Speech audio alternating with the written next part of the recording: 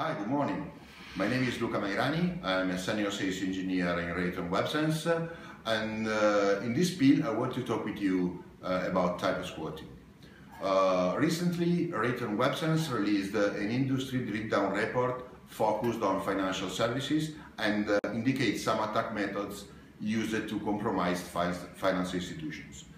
Uh, today we are talking about typo squatting and uh, in the next few pills uh, we see also some interesting malware widely used uh, on uh, modern attacks. Uh, so what is typo squatting? Simply typo squatting is a form of cyber squatting which relies on mistakes such as typographical errors by internet users when inputting a website, uh, a website address uh, into a web browser.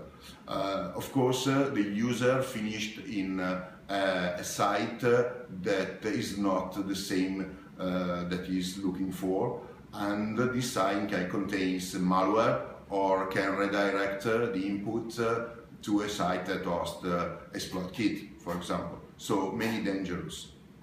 The most common examples for typo squatting are uh, insertion, deletion, replacement, and uh, uh, transpositions of letters. Uh, well, if you think that uh, is an old-fashioned attack methodology, you are wrong for some reasons. Uh, first, all the attacks methodology are widely used after years to menace user. Ransomware are a clear example.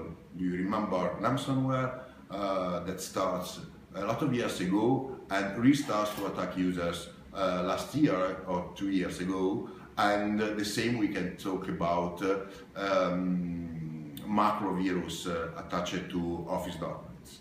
Uh, second, because typo squatting associated with social engineer techniques are very powerful method to deceive users and in addition uh, is very cheap to realize. Is very cheap for the attacker. Uh, the squatted site can, uh, as, as I said before, host malware or can redirect uh, uh, you to an exploit kit or can simply ask you for your credential. So uh, it's dangerous, but how I can protect? the first way to avoid typo squatting is to use search engine to access to the site. In this way, you cannot fail to digit the name of the site. Uh, the second way is to take care uh, to links uh, you receive via mail or via messages. Uh, remember that uh, always uh, problem exists between keyboard and chair and talk about security with your user and tell them to double check every strange message. Well, Uh, thank you for your attention and see you the, to the next video.